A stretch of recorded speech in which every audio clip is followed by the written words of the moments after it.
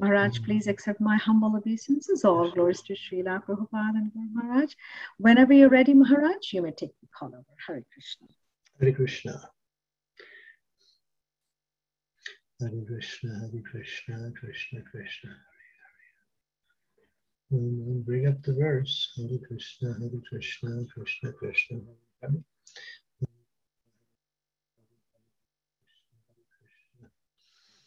Krishna Krishna Hare Hare.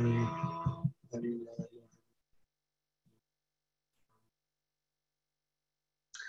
Synonyms Kachit sometimes, Cha also, Vishesha unlimited, Dosha of faults, Nisadanam the source of, Purisha of stool, Vishesham a particular type, Tat Varna Guna. The color is the same as that of the mode of passion reddish. Nirmita Mati, whose mind is absorbed in that. Suvarnam, gold. Upaditsati, desiring to get. Agnikama, by the desire for fire. Karata, who is troubled. Iva, like. Umukha Visatkam, a phosphorescent light known as the will o' the wisp, which is sometimes mistaken for a ghost. Translation.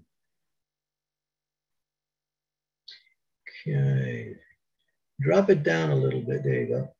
Sometimes, that's good. Sometimes a living entity is interested in the yellow stool known as gold and runs after it. That gold is a source of material opulence and envy, and it can enable one to afford illicit sex, gambling, meat and intoxication. Those whose minds are overcome by the mode of passion are attracted by the color of gold. Just as a man suffering from cold in the forest runs after phosphorescent light in a marshy land, consider it, it to be fire. Purport. Parikshit Maharaj told Kali Yuga to leave his kingdom immediately and reside in four places brothels, liquor shops, slaughterhouses, and gambling casinos. However, Kali Yuga requested him to give him only one place where these four places are included. And Maharaj Parikshit gave him the place where gold is stored.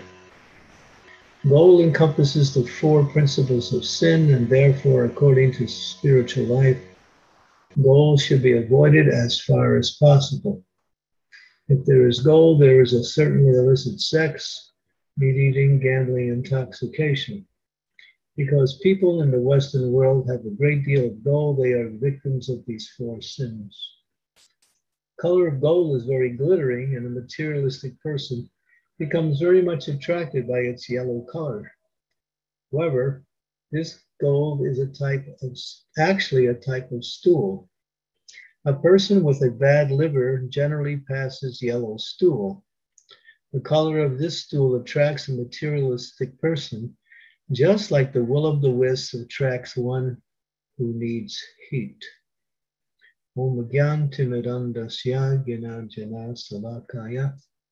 Chaksun Militam Yena Tasmai Shri Gurave Namaha Shri Chaitanya Manobhistam Saptitam Yena Bhutale Swayam Rupa Kadam Mayam Dadati Swam Padantikam Nama Om Vishnu Padaya Krishna Prastaya Bhutale Srimakti Bhakti Vedanta Swami Tinamine Namaste, Saraswati Devi Gauravani Pacharine Nirvasesa Sunyavadi Pasyatya Desatarine Panchakalpa Tarubhischa Kripasindu Pevacha Patitanam Pavanebhyo Vaishnavebhyo Namaho Namaha.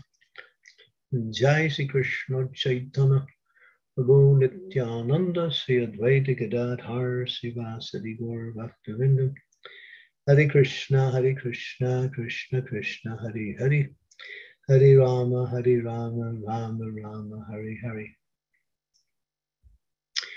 So this 14th chapter of the fifth canto is an interesting chapter because it gets right to the essence of material existence. Uh, material existence is an anomaly. It is not meant. It says there's one verse in the material in the uh, fifth canto also that the living entity should never have ever come to this material world. This material world is like a, as compared by Srila Prabhupada, it's simply a bathroom where one comes to pass stool and urine.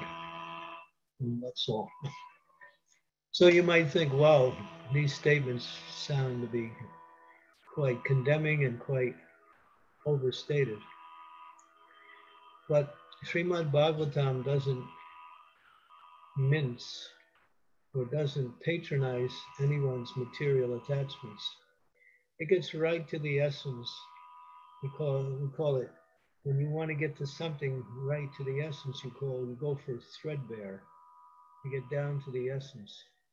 The cloth is made out of so many threads woven together, which makes a very nice cloth.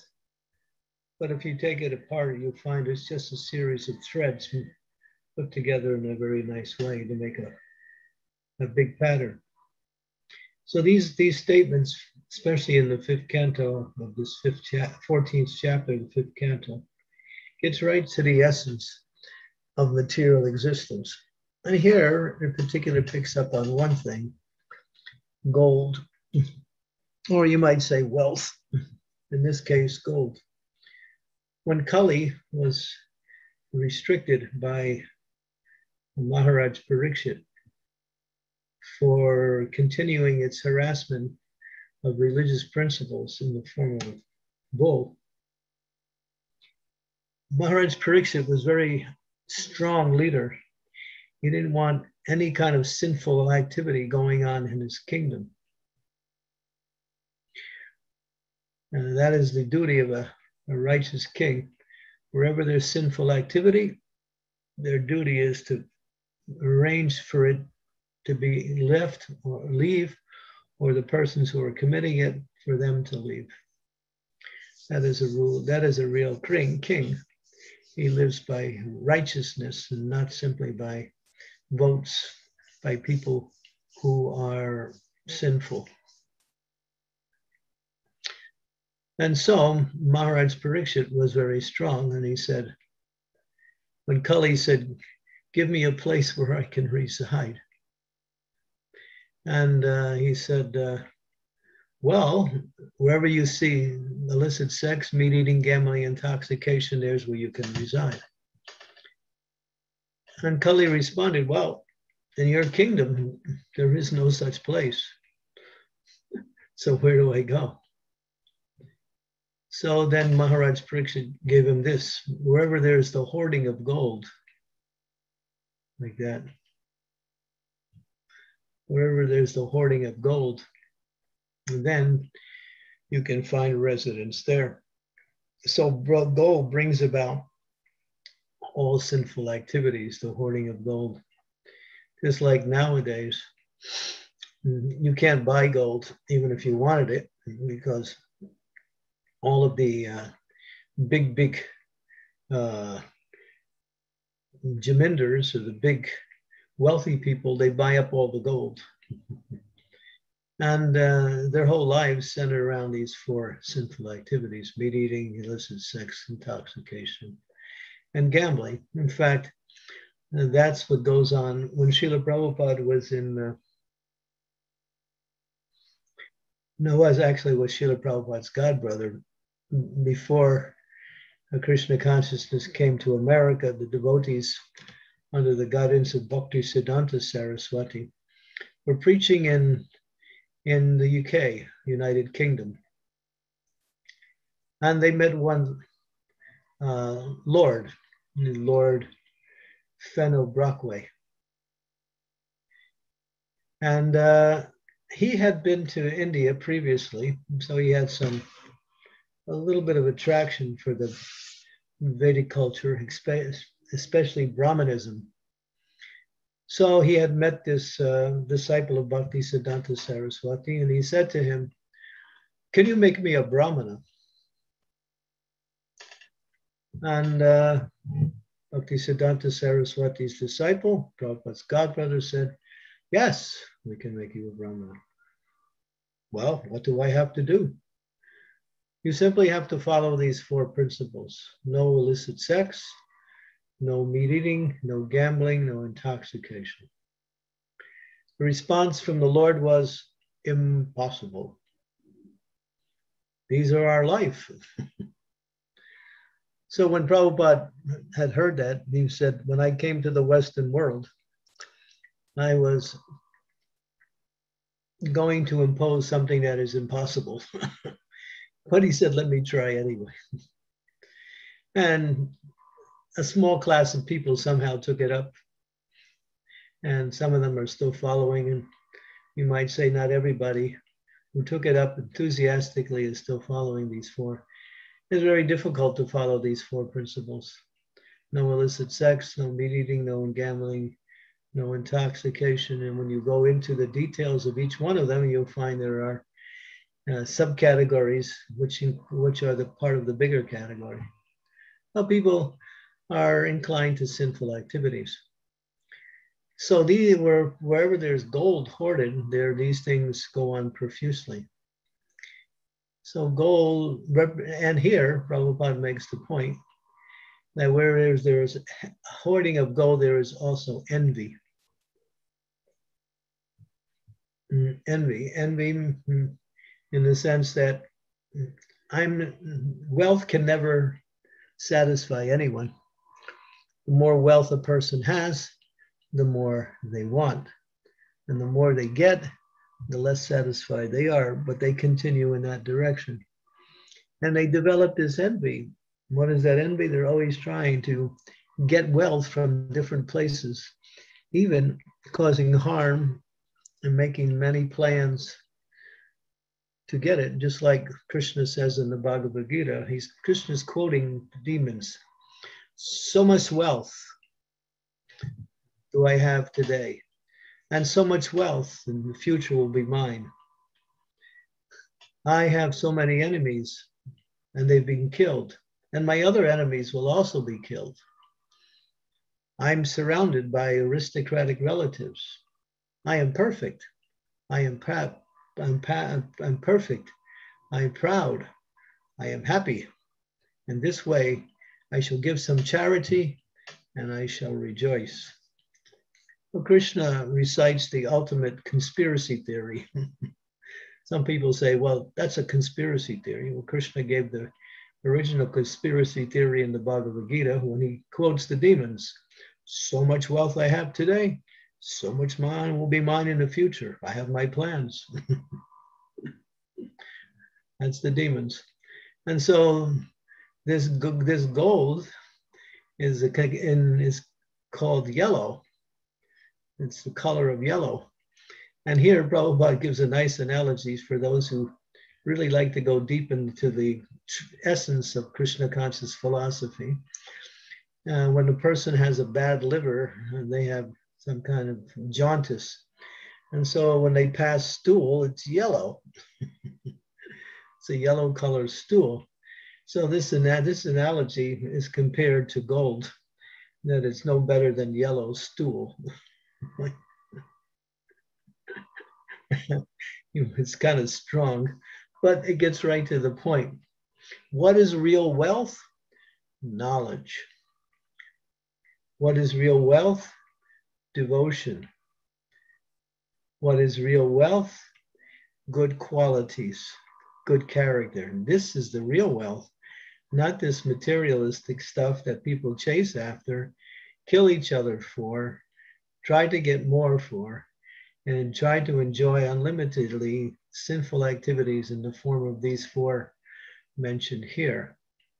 Of course, there are many other forms of, uh, of uh, sinful activities, which are all included in these four activities. So this verse is really clear to under, give you an understand that this material world is simply a place where the living entity makes a fool out of themselves. we act contrary to our actually identity. We think we are the body. We think that every every the purple people are, that surround us in forms of relatives and friends are related to us. We think that the possessions we have are for our enjoyment. All of these things are the foolishness of the living entity, and therefore they become more and more trapped in the illusion of that I am the enjoyer. And then what happens, that illusion simply propagates itself, where people compete each other against each other, against the material energy to get more, to try to enjoy more there used to be an old bumper sticker. It's still probably around somewhere. When I used to do Sankirtan in the United States of America, it was kind of a, a spoof, kind of a facetious uh, bumper sticker, but it had a message. It says, He who dies with the most toys wins. now, he who dies with the most toys wins. In other words, everyone's trying to accumulate as much as they can and then they die. But I died with more than you did, so I'm better than you. but the fact is, you died. Therefore, you don't have any of it anymore. And so, people are materialistic people are attracted to materialistic wealth power, position, all based on getting more and more sense gratification in the form of these sinful activities.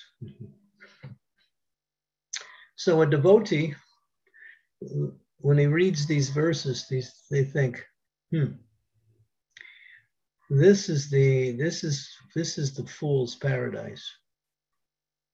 And you'll see as you go on in this chapter, uh, you're at verse number seven.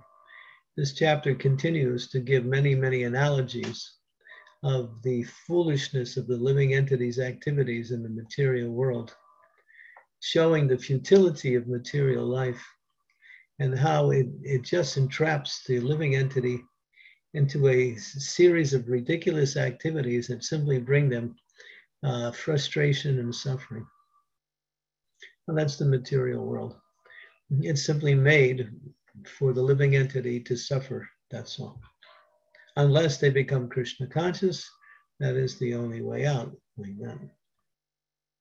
So you'll see Kali Yuga, you know, the living entities, more gambling casinos, more slaughterhouses, more liquor shops, more places of illicit sex, all these things now, they're big businesses. You drive along the highways, you see billboards advertising these things now. I remember when I first used to do Sankirtan in the early days, you would never see signs about gambling casinos. But then after some time, everywhere, signs about this casino, that casino, this place. And uh, these are all meant to get people to waste their money so someone else can get it. And then, you know, ruin their life in these different ways. Out of these four activities, the most mentally debilitating of all of the four is gambling. It's even worse than intoxication.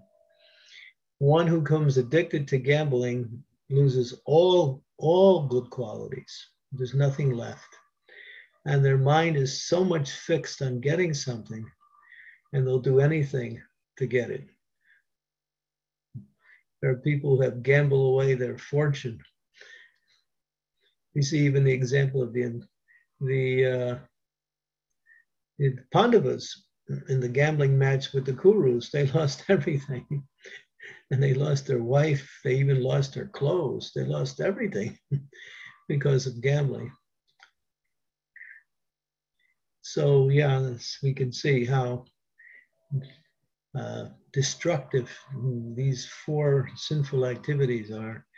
And in, in order to engage into it, you have to have gold, you have to have wealth, which is compared to a disease of the liver.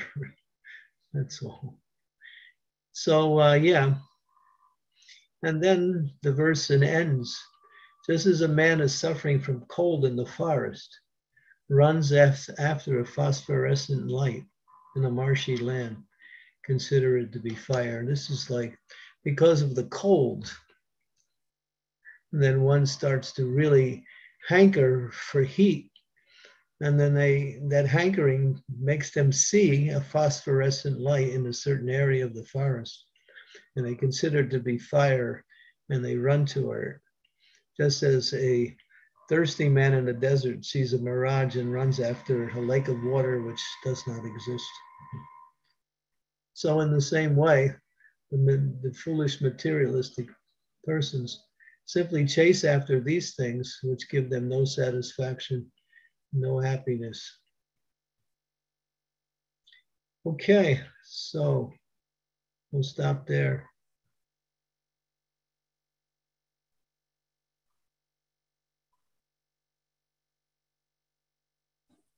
Thank you very much, Maharaj. Very, very nice class, as always, very enlightening, very, um, and you make it so simple with all your examples. Thank you, Maharaj, for the wonderful, wonderful analogies.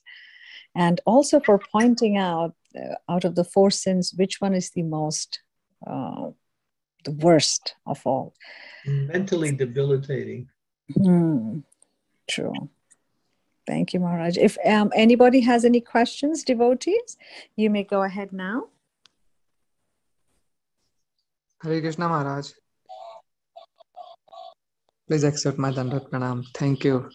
So, Gopal. Hare Krishna.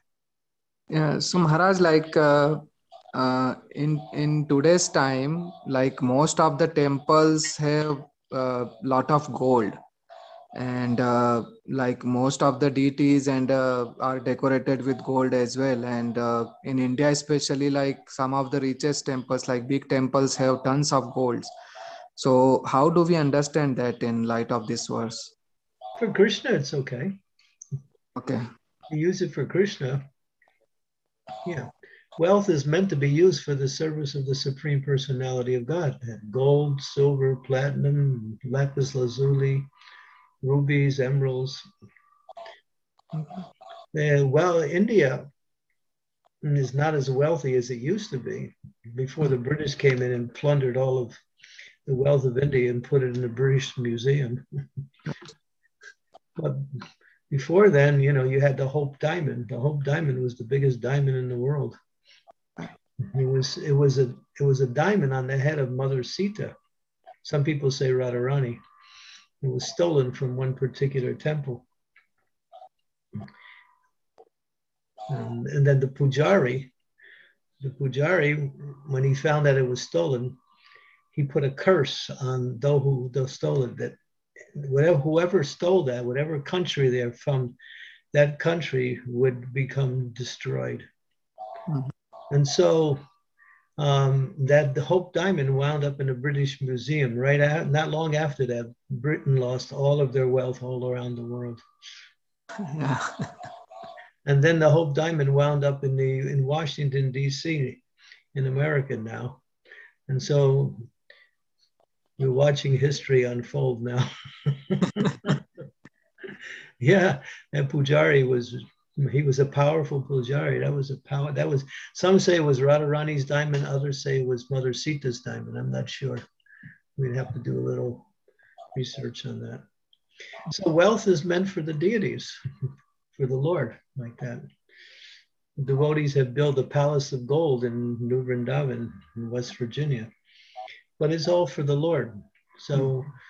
these these things, if you don't use them, then they are taken by the materialists. So we use, we take them and we use them for the service of the Lord, to glorify the Lord, to give opulence of the Lord. Whatever the opulence in the Lord, in the world, is placed there by the Lord, it's meant to be used for the Lord like that. Hmm. So Maharaj, like this verse can be extended to general wealth, not just the gold, but even general wealth, any kind yeah. of opulence. Yeah. Yeah. Yeah. Yeah. The principle is the same. Yeah. Thank you, Maharaj. Yeah. Thank you, Vamsi. Hare Krishna. Hare Krishna. I think um, we have a question on the chat from Vrishbhu Das Prabhu. He's saying that Hare Krishna, dear Maharaj and devotees, please accept my humble obeisances. All glories to Srila Prabhupada, you Gurudev and assembled Vaishnavas. Dear Maharaj, there is a big chance that currencies will collapse all over the world. So, how should devotees try to save Krishna's, Lakshmi, they have in their possession if gold is not good to ha- good to hoard. And one more small thing what was what was real wealth maharaj? That's his question. Hari krishna. Mm-hmm. well practical question. What should we you know um, that is a forecast on the horizon. Um, that is a plan by the plan makers to digitize, di- digitalize all wealth around the world. No one will have any kind of wealth anymore. Everything will be through the computer. Everything will be done electronically. That's a plan. Whether it, it manifests in 10 years, 20 years, 50 years, we don't know. But that is a plan that's in progress. And there's a reason, there's reasons for that, which I won't get into. So, what should devotees do with their paper money now? Should they buy gold? well, that's questionable. Um, the actually another principle of wealth is land. So I would suggest devotees use their wealth, as Prabhupada said, buy land, make these farm communities, develop self-sufficiency, grow your own food, keep cows, and uh, live a very uh, natural lifestyle, which is not dependent on cities and uh, artificial forms of wealth. Um, there's a book called, uh, what is it called? Hmm. Spiritual Economics. It's an interesting book by one of my god brothers, uh, Daneshwar. He wrote the book. He talks about, in relationship to Prabhupada's plan, that wealth will be what you need. And the, the barter system, he, he was talking about Prabhupada's idea for a barter system. If you have something that I need and I have something you need, we trade. And so labor and goods become the medium of exchange. I come and do things for you. I give you some of the products that I have. You produce other products and you give to me. And therefore, this paper money is no longer needed. So everything, everything, all wealth comes from the land. Everything comes from the land. So if you have valuable land or good land, you, can do so much with land. All your, all your needs are provided by the land and by cows. Everything is there. Cows and land provide everything you need. And when it rains, everything benefits.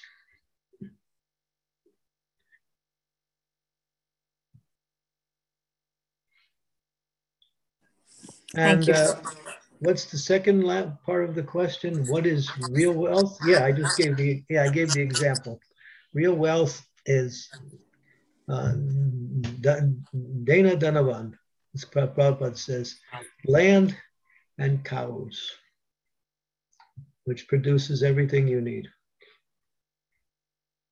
You can build your houses, you can heat your houses, you can grow your food, you can have everything you need. You may not have a very sophisticated computer, but you won't need it. we live in a very artificial, soul killing society now, destroys all the qualities of the living beings. We all send everything around electronics, machines. Everything is machines, machines, machines.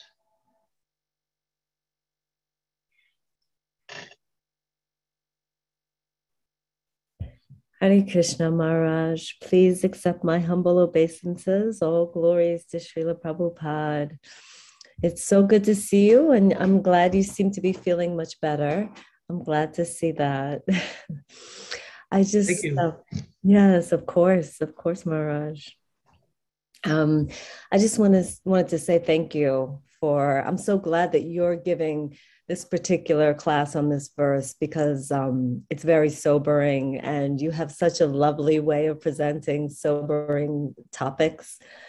Um, so it's so helpful and so beneficial. I really love when you said that um, the material world is a place where we make fool of fools of ourselves. And when you said it, I, I it's very, it was very clear to me. Yes, I, I yes, I agree with that one hundred percent. So, um, Maharaj, the book that you mentioned, Spiritual Economics, is that Eric Butterworth? Is that his name, his uh, non spiritual name? I'm not sure his, but he's now known as Dhaneshwara. Okay. Spiritual Economics. There it is. Somebody posted it. It's on Amazon. It's interesting. Okay. Yes, I will look for that. Thank you very much and um, you and I, you did give us. I know you've you've spoken already about the wealth, real wealth in the world, um, and I just, I just, I, I, I just want to ask you because I want to hear you say. I want to hear your answer about how we as devotees um, can protect ourselves spiritually, can protect our spiritual lives in such, you know, the Community. world is so degraded. Community develop Krishna conscious community or join a Krishna conscious community. Mm-hmm. And, the, and the community should be aligned with the instructions of Prabhupada for community development. Mm-hmm. We have some good communities developing already. We have Gitanagari in Pennsylvania.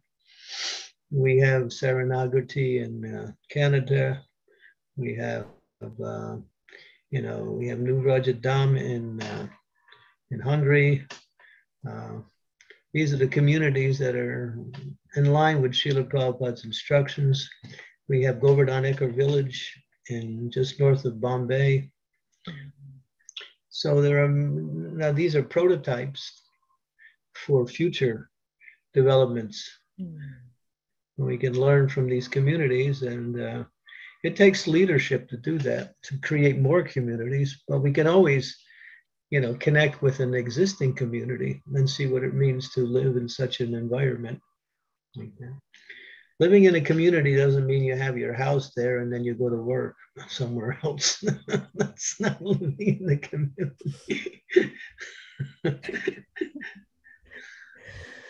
Okay, thank you so much, Maharaj. Thank you again for the class, and I hope that we have you again many, many times on this on this canto. This is actually my favorite canto.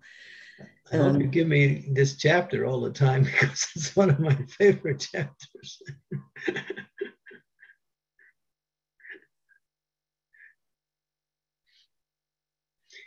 Raj Prabhu. Oh, Hare Krishna Maharaj. Dandavat Pranam. All glories to Srila Prabhupada. Nice to see you, Hare Krishna. Nice to see you, Maharaj. So beautiful to see you all the time. Thank you, Maharaj. What a beautiful class, Maharaj. Right on the on the point, you know. I loved your uh, analogy of Prabhupada of bathroom. We can uh, certainly make a million dollar of bathroom putting so many things in, but uh, we use it uh, for whatever we use it. We all know.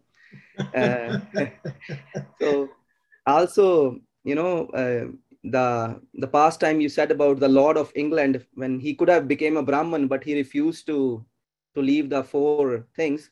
But this, this is why i think prabhupada purports are sometimes so strong to make uh, fools like me understand you know what is life. So beautiful. Maharaj i have a small question. Yesterday i was talking to a caucasian girl and uh, you know when you meet uh, you you ask them how you doing and whatnot and she said uh, she had better times so i asked okay what's happening so she said uh, her aunt who is 70 years old today because i was talking to her yesterday today she will be going through assisted dying. So, you know, that in Canada, there is a law that you can choose it. Uh, so I was kind of uh, very sad. And on the other side, I was happy too, thinking that, okay, she knows when she's going away because uh, it's difficult to know when you will go away. And Krishna in Bhagavad Gita says, uh, whatever uh, state of mind you will have while time of going, uh, you will certainly attain that.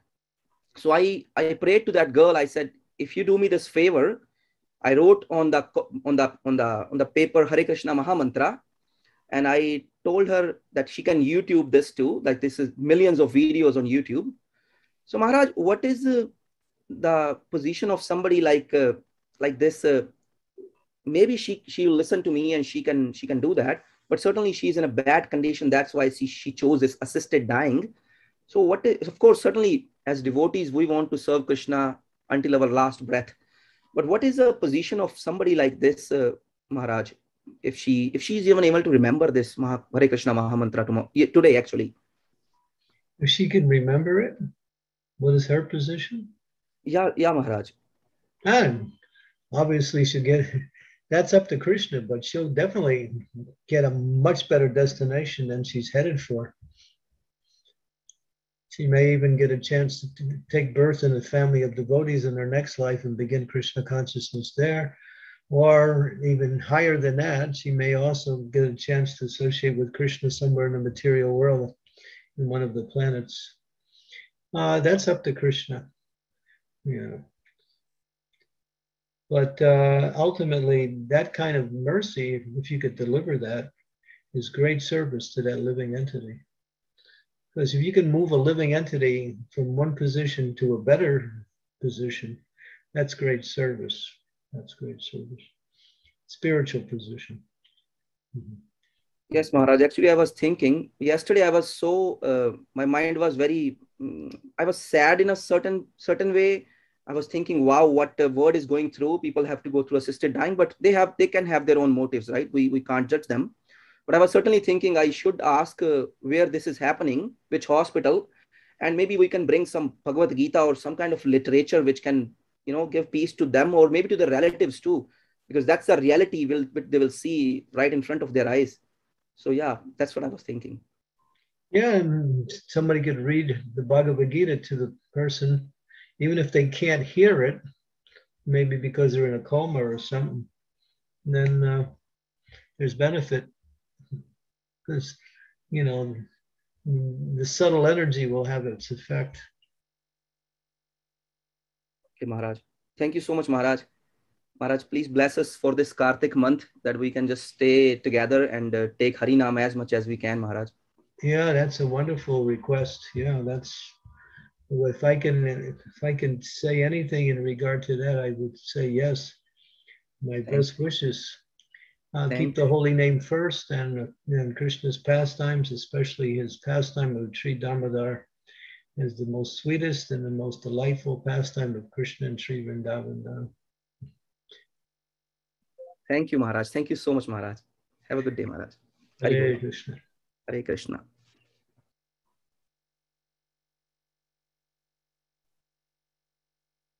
Any last minute questions for Maharaj?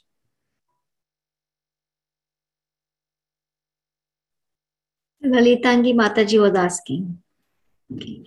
Hare Krishna Maharaj, please accept my humble obeisances. All good to Srila Prabhupada. Hmm. Thank you so much, Maharaj, for the wonderful class, and thank you so much. Nice to see you, Maharaj. Uh, I was worried if you are able to give class or not. And I have another class coming up after this one. Maharaj, please take care of your health. You know don't stress too much. Yeah. Thank you, Maharaj. Hare Krishna Maharaj. Please accept our respectful obeisances. Thank you so much for your continuous association. And when we see that how much, um, uh, you know, you and others, uh, other spiritual masters, they take i mean at this age and with so much factors that's uh, that are constraints but still you keep giving us association. It's such a wonderful example to see maharaj. And we want to follow that uh, if you have time is there time for one question? I heard you have another class coming up. Yeah my class is in about two hours but i have a little time. Oh, okay. So uh, in the purport, Srila Prabhupada mentions that uh, because of the the gold is so much uh, found in the Western countries, and uh, that's why there are four sinful activities there, uh, predominantly there. Uh, but practically, if I'm seeing an Indian lady wants more gold than a Westerner or a family in the locker in terms of the jewels and other things. It's become a custom to give gold during marriage, so much of gold. So I was trying to understand that uh, line of Srila Prabhupada, uh, what it means, Maharaj. You can answer that question better than I can. I'm not an Indian lady, so I can't do it. I don't have the adhikari for that one.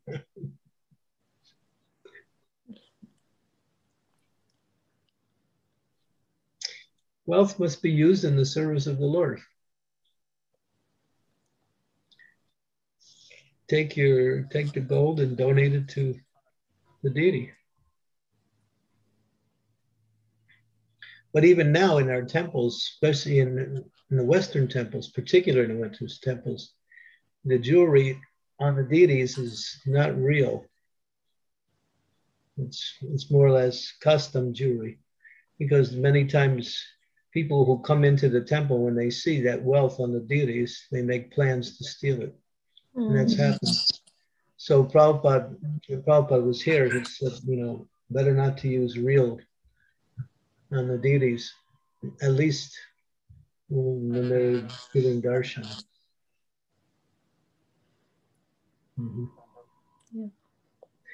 So, you know, but Mataji, you know, ladies like gold. so what am I supposed to say? Jewelry and stuff. But you should use a portion of that for mm. Krishna. Donate it. Yeah, thank you, Maharaj. Now I remember when I uh, when we gave some silver articles for use in Chennai temple, the pujari was uh, anxious and said that Mataji, can you use this for your house deities? Because I'm very anxious to protect this. It's it's a big thing that it gets lost uh, over a period of time. Yeah, now what you say is, uh, makes sense. Yeah, and also there's people who are like out there to steal. We look for these things.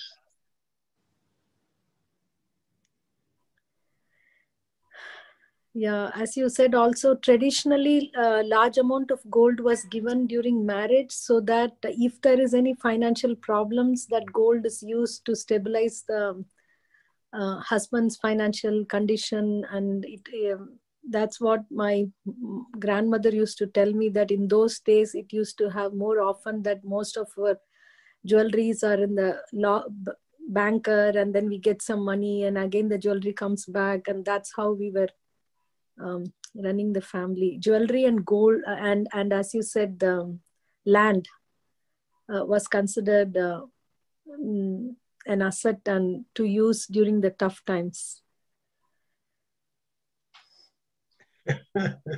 Thank you. Thank you maharaj. Thank you so much for your wonderful wonderful association purifying Hare association Hare Krishna. Hare Krishna.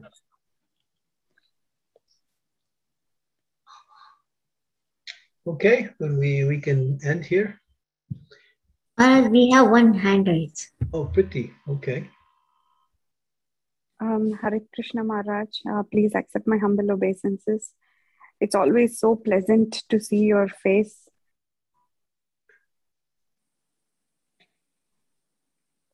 You're muted.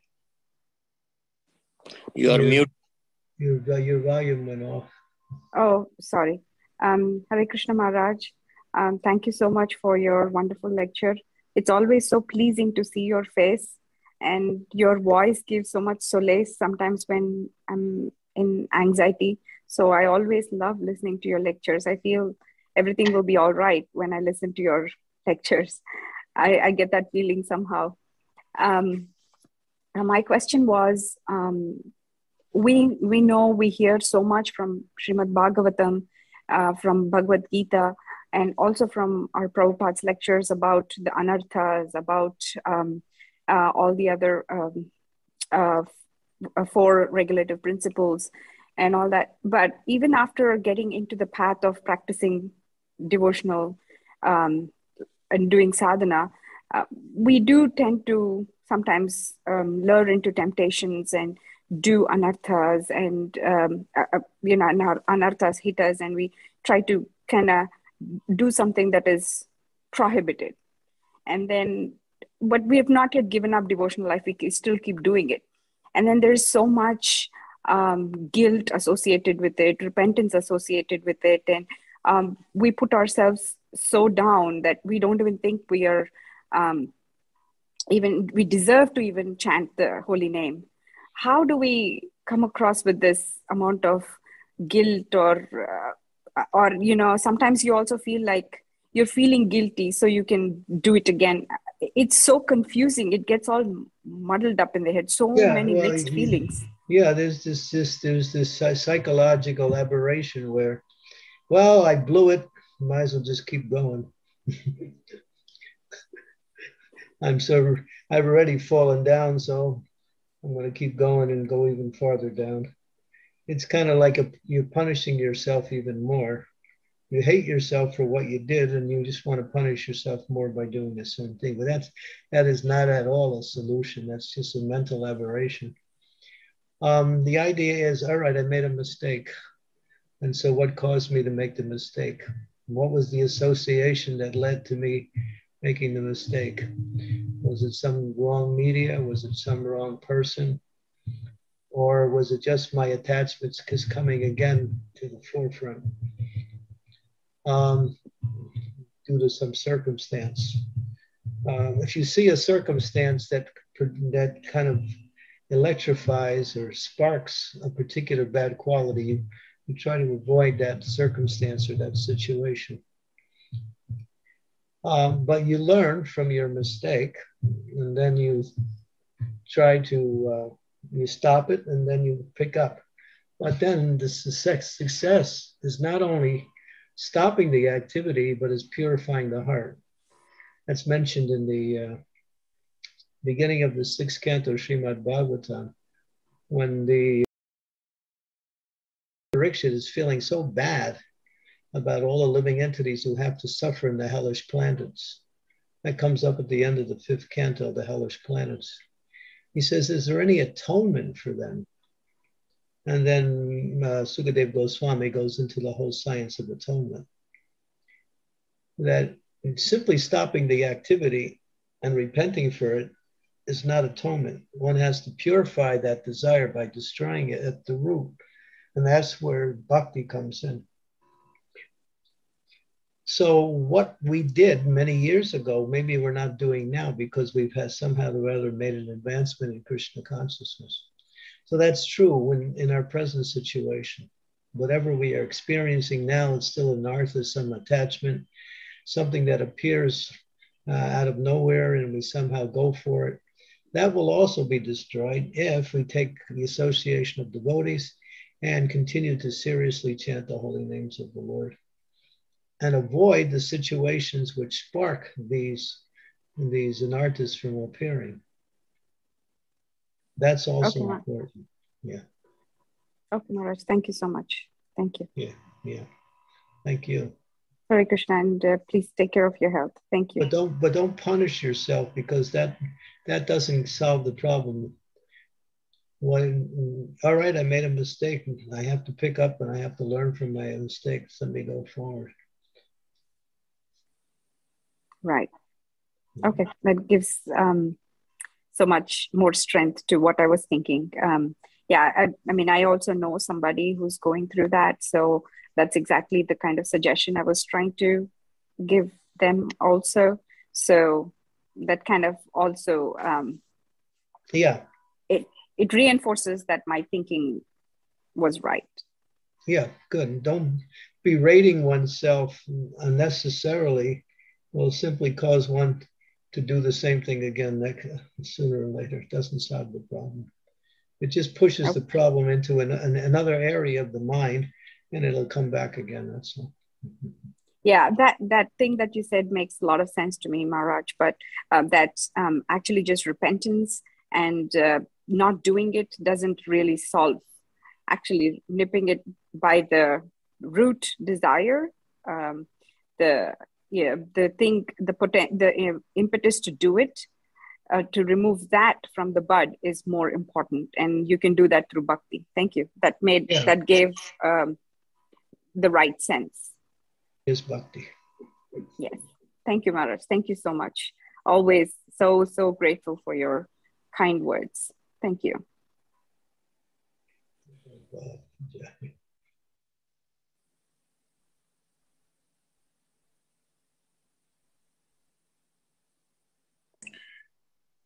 Hare Krishna Maharaj. Can I ask one question, Maharaj? Do you have time? Yeah. Uh, Hare Krishna Maharaj. My question is uh, like uh, devotees also like you know have the um, this gold and everything they also wear and they also you know uh, use it for themselves and also use it for krishna's service. Um, and especially when the ladies get ready in india usually when it's a devotee or non-devotee they just generally wear everything all the jewelry on them. So how do you look how to look at this? When when we say like when we say to non-devotee okay this gold everything is you know you don't have to store. It's it's all uh, uh, you know it's it's not good uh, for our krishna consciousness. But at the same time we also see devotees who have everything and wearing everything but they are krishna consciousness. How but how to convince the uh, non devotee uh, to explain this? I'm not going to try to answer that question. convincing people or not convincing people is understood by example.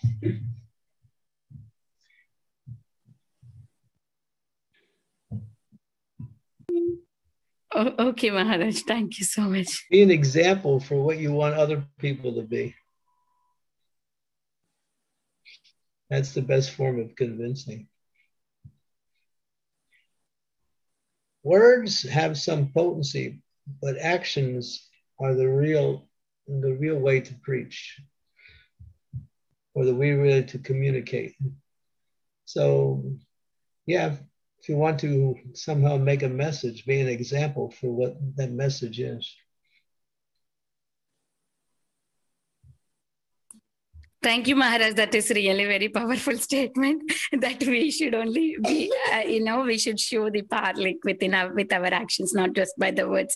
Yeah, thank you. Thank you so much, Maharaj. That, that really, you know, makes sense. And I can, you know, walk, uh, um, try to do it for myself and be an example. Hare Krishna. Thank you. So, devotees, I have to leave. I have another program coming up very soon. So it's incumbent on me to depart at this particular point, but thank you very much.